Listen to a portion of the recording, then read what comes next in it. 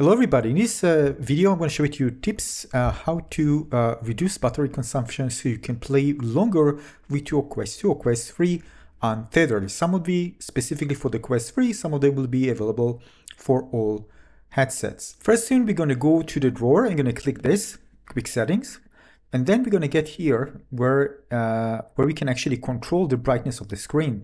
Now if you want to reduce battery consumption, you can reduce the brightness of the screen. You can see it now because again, it's not being recorded, uh, but basically if you reduce it, the screen will get less brighter and it will consume less power. All right, next thing we're going to go to the settings. Keep in mind, it's up to you to decide which one you want to turn on and off, but all of them will help you out. Uh, after that, we're going to go to system, system option. And in the first option in the display, you're going to see the option to turn on. This is for the Quest 3 uh, to turn on or off the 120 Hertz uh, refresh rate. Turn it off if you want to, again, to improve uh, battery life and reduce battery, battery power consumption. The next thing we need to do is to make sure that you have the latest software update. For that, we're going to go to software update and make sure to update your headset because this includes other optimization and other important stuff that might improve the headset, uh, not just as the performance, solve bugs, but also maybe improve the battery consumption as well. So again, just make sure that you have the latest update. Next, you're going to go to headset tracking and you have two options, headset tracking 50 Hertz in 60 Hz. 50 Hz tracking frequency is a good balance between performance and battery life. It's suitable for most VR games and application, and 60 Hz tracking frequency provides the smoothest and most responsive tracking experience. It's ideal for fast-paced VR games and applications where precise tracking is important, however, it will also use more battery life. So you can choose 50 or just stay with the default auto, up to you, but 50 will consume less power. Right. Next thing is uh, for the power management. So auto automatic wake, when you move your headset, it will wake uh, the headset out. You can actually disable it. Uh, display off, you can make it to the shortest time if you want to make sure the display is off when you're actually not using the headset. The next thing is uh, sleep mode. How much time after the display is turned off, the headset will get into sleep mode. Right, make sure it's not very long. If it's set for very long, well, it will consume, of course, more power while it's actually awake. And there's also a battery saver mode, which uh, once you activate, you can also see also the screen uh, brightness is reduced, but this is basically a mode that helps to save battery power. It'll basically lower the overall graphical fidelity. So what you need is turn it on to activate the battery saver.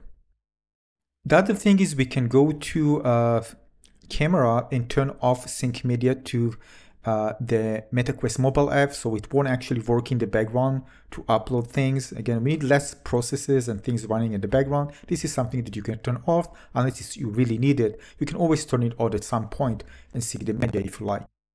Another thing you can turn off is, uh, it's turned off by default, but it's image stabilization if you turn it on. This is basically uh, was made uh, when watching videos to kind of stabilize them uh, to, again, it reduces the field of view, but basically it's kind of an extra process that's running in the background. If it's on, you can turn it off. Keep in mind also, if you're recording videos while actually playing, this also consumes power. So if you, again, really don't need to record things, just turn the recording off. Same goes to the recording quality, which you can find at the same page here, like bitrate and frame rate. So if you're audio recording, you can reduce, for example, uh, the frame rate and uh, maybe the bitrate as well. The other thing is if you're already working with several windows, for example, uh, if you can just make sure you don't work in, if you multitask, just close the windows that you don't actually use. For example, you can see having one window and I can open another one. So again, if you're having several windows and there are some apps that are open that you don't need, just close the one that you don't need. Another thing you can save battery life is don't use the pass-through if you don't need it. For example, if you're just browsing things uh, in VR or just in the main menu, just disable the pass-through, right? It's very easy. If you go to the uh, to the quick setting, and just click this uh, space pass-through, and it's going to go from VR to mixed reality pass-through and vice versa if you press it. Uh, next thing, disable the Bluetooth or some of the connected devices that you don't actually use. Again, it uses low energy, but not nonetheless, if you have some connected devices don't use, disable them. Same goes to the Wi-Fi. If you don't use the Wi-Fi, you can just disable it.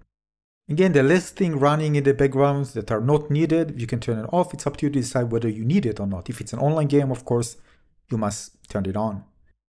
Another thing that if it's not necessary, you can just turn casting uh, uh, as well. And if you're going live, probably already, if you're already doing it, you probably need it. But if you don't really need it, you can turn it off.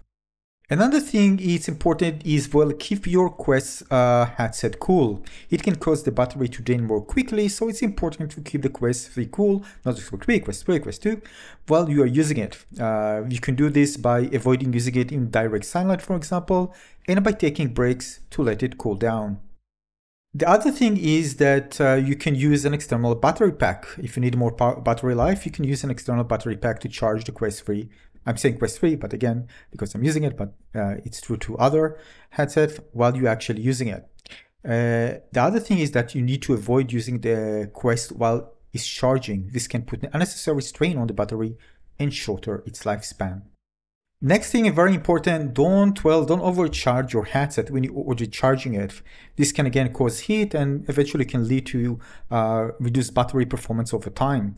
So basically, again, if you charge it, once you get to 100%, uh, some say even say just do 80%, but again, if you're playing a lot, you're going to charge it fully. Just make sure that it doesn't stay there. For example, there are some external chargers, we can just leave it on through the night. Try not to do it, just charge it until 100% and disconnect it. Next thing we want to go to settings again, and then we're going to go uh, to the developer tab. Uh, in the developer they have, you have the enable custom setting. If it's turned on, you see you have different options. You have hand tracking frequency override. So basically you can reduce the frequency of the hand tracking and therefore improve uh, battery performance when you set it to low. All right, it's an option you can do. It's up to you to decide whether to turn it uh, to low, high, or even touch this setting at all, which is turned off by default. The next thing we're going to do is going to go back to the uh, to the settings and we go to privacy. Now here basically there are some things that can run in the background and basically the less data transmission you have, the less power is going to uh, uh, it's going to take and uh, we're going to go to there are different options. For example like share additional uh, content with meta which you turn off by default. Uh, you can turn off and body tracking as well. Location services off by default but you can turn it on uh, sorry, you can leave it off. It's turned on, you can turn it off. So different features that you share and actually cause data transmission as you're actually using the headset. So there are different options and you can turn them off to reduce data transmission.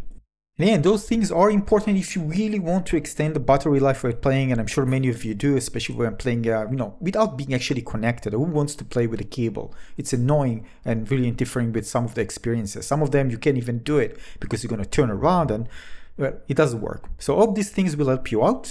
And of course it will to some degree. Uh, decide which one you want to turn on and off and which one you want to enable. And yeah, good luck. If you have any other things that you think can improve the battery life and extend the gameplay time, let us know in the comment section below. Thanks for watching everybody. Give a like if you found this useful. I'll see you in the next video. Cheers.